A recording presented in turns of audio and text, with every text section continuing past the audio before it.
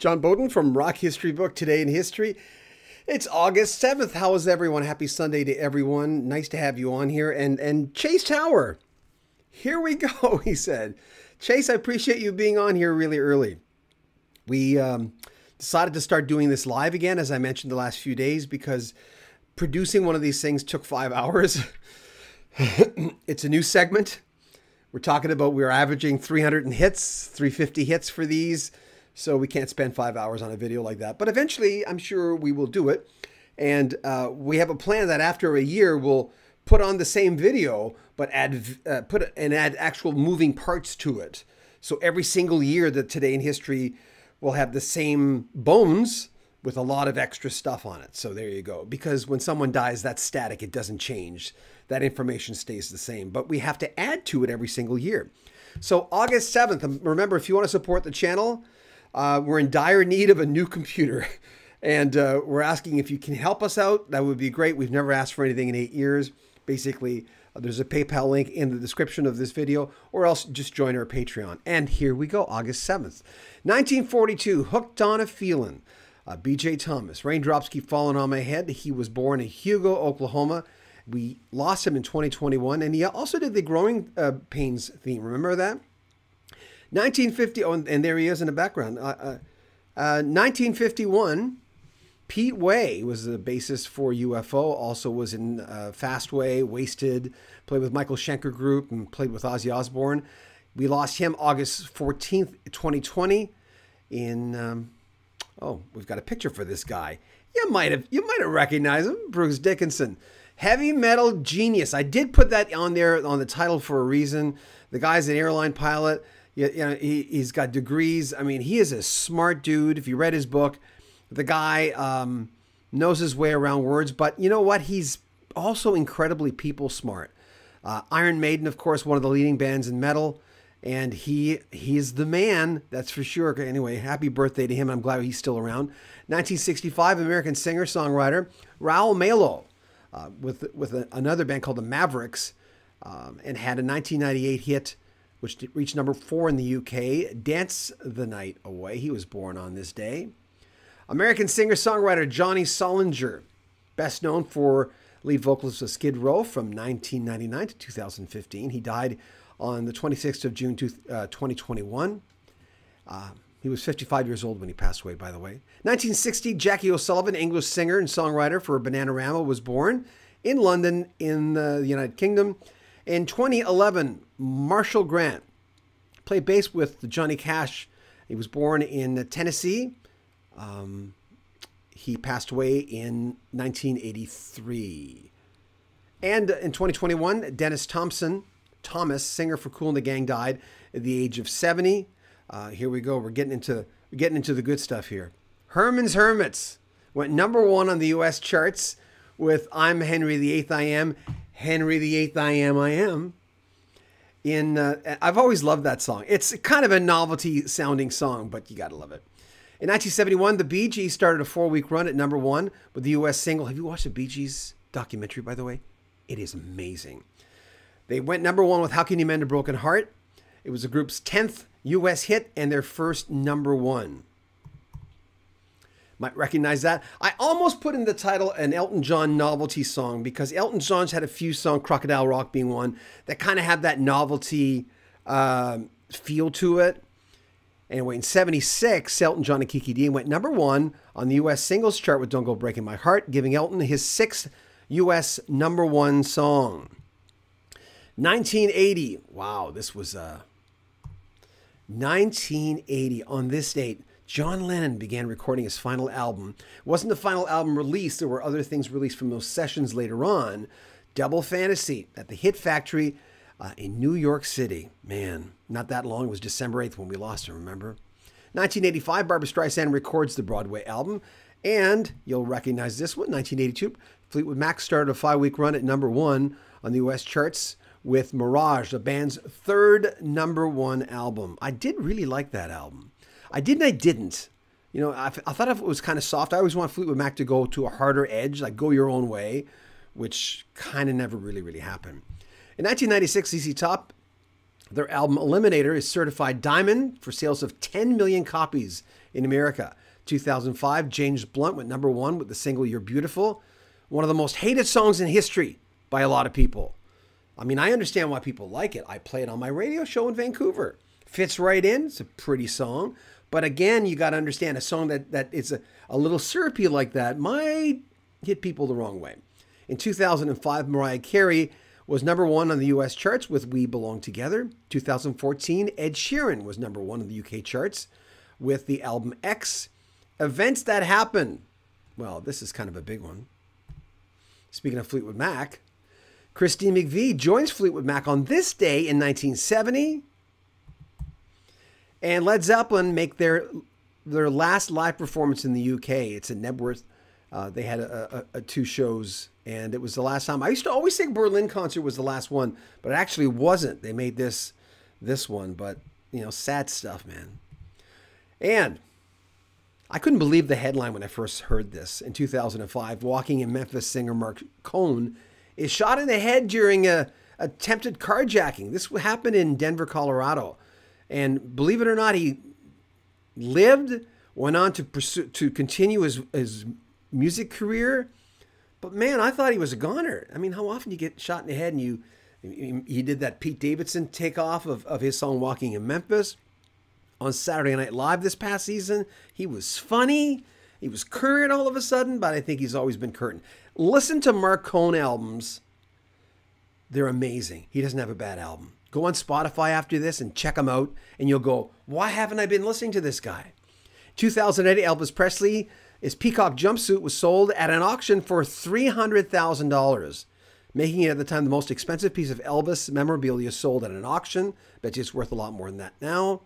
And in 2008, the police wrap up their reunion tour in New York, Madison Square Garden.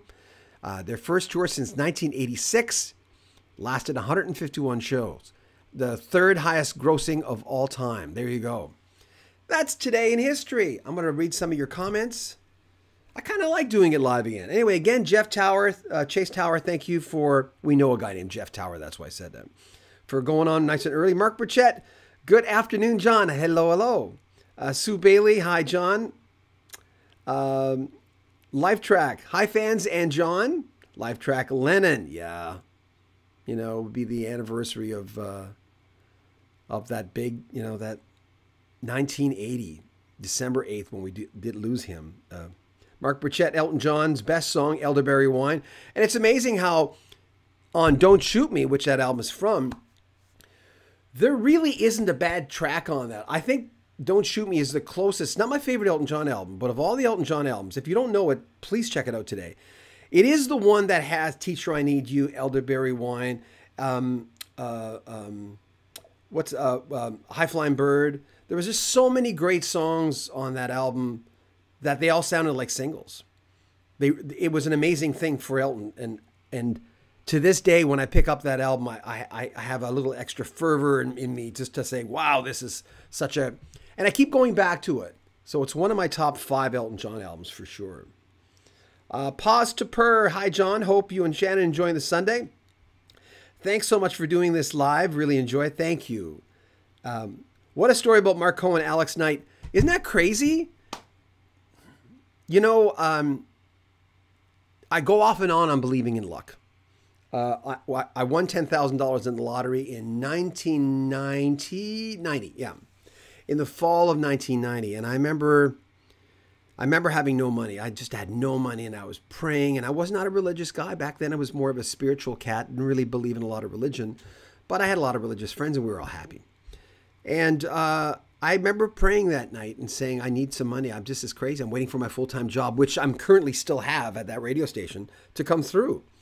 And I went down with my last $5, bought a lottery ticket, went to A&W, bought a breakfast sandwich, bought the bought the sandwich first, and I and I it was a scratcher, scratch and win we call them in Canada, and I won ten grand.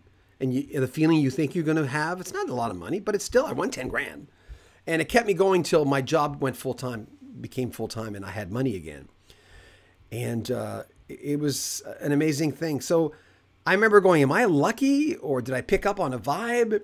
You know that that maybe I was going to get something, what made me brave enough to pray I don't know. Marc Cohn. Getting shot in the head. That's where I was going with this, by the way.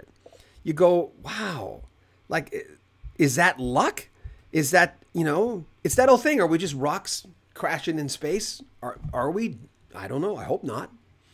But that is, I'd say that's, uh, there's a lot of luck there. Uh, Chase Tower, thanks, JB. Thank you. Life track. They prayed for you, maybe. I don't know. I don't know. You know, if a religious person wants to talk about anything, I'm always very open to it because I'm intrigued by theology. I've always been. And I used to be quite religious myself. But you wonder sometimes a chicken or the egg thing. What's going on out there? You know, um, I've had several, I'm writing a book right now in my life, and I've had several instances that make no sense. And you probably do too. You go, wow, that's uncanny. That's a, that's strange that that happened. And the hardest moments of your life, if you wait a little while, a lot of the times you turn a corner, you don't know it at the time, you turn a corner, and all of a sudden your life turns around. You know, it's the old story my uncle used to tell me. Every, all every young man uh, in the village go to war. They're all downtrodden. They're going to war.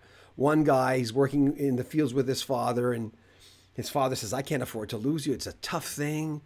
I'm paraphrasing this story. Then all of a sudden, you know, they're working in the farm, but he breaks his leg and he can't go to war and he can't work with his dad. It's he's screwed. But then everyone in that plane from that small town get killed on the way to the war or something. Put whatever instance you want in there. The boy on the farm's leg gets better and he's still there. I mean, the thing is, cliche as it sounds, you never know what's on the other side. I, Marc Cohen's still here, and I'm glad he is because he's such an amazing artist. Please go listen to his albums on on Spotify. He doesn't have some. He, again, I'll say it. He doesn't have a bad album. He's just there's some songs he has on that you're going. This should have been a hit. Doesn't matter. It's still around. You still listen to it. Still share it with people. So I've kind of made this into a Marc Cohen thing. I love Marc Cohen. Love, love, love, love, love.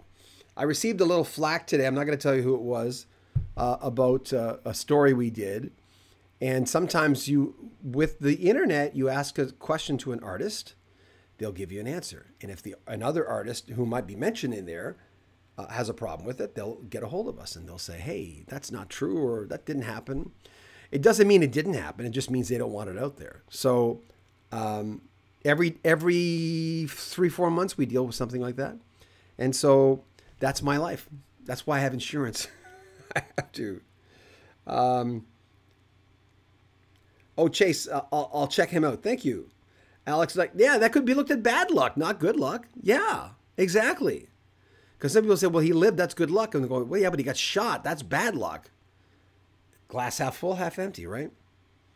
Uh, Big Dog Ron, AZ. Uh, since your live stream about death of Judith uh, Durham, I've been watching videos about her life. What an amazing talent. What an amazing life, too. Yeah whenever this happens, it's an opportunity for us. And people always say, why don't you celebrate people while they're alive? Um, we just don't have the time most of the time. I'm going to do a thing on Patrick Simmons of the Doobie Brothers because I love him so much. He's the glue in that band, has been since the you know the Michael McDonald, Tom Johnston, but but we don't have time to do all these things. But when they pass away, I'm saying but a lot. It's an opportunity for us to to look back. Yeah. But anyway, thank you for everyone that, that came aboard today. And thank you for the folks who are donating and helping us buy this new computer. We're three quarters there to buying this computer. So it makes an awful lot of, uh, makes a big difference for us. Uh, if you want to make a donation, there's a PayPal link in the description or join our Patreon. But thank you, and I love you, man. Thank you for always being there. It's nice that you come on and chat with me. It means a lot to me. This is kind of my life. This is what I do. I've been in radio 40 years, but coming on live is a fun thing for me because I've been on live in, in radio for so many years. I'm not on live on the current show that I do, which is one of the reasons I come on live to do this. So there you have it. So thank you for supporting me. I can't say this enough. I get a little mushy, you know, about this and sentimental, but it's, yeah, yeah, I'm out there. This is my life. This is what I do. And Shannon helps an awful lot too. And we're always trying to make ends meet. We can, we can make it work. But when you need a new computer, you go, oh no, you know. So anyway, thank you for joining me. Uh, thanks, John Postaper. Have a great day. You too, and everyone who joined on today. Have a good one today in history. If it's your birthday, August seventh. Well, happy birthday to you. And again, I always say this every day. A lot of things happen on your birthday. If it's not your birthday, pass it along to someone who's celebrating a birthday. I think they'd be interested. Take good care of yourself. And I'll be back tomorrow. And if anything breaks tonight, I'll be back tonight. We've got two, three more videos coming up on rock history music uh, before midnight tonight. Take good care.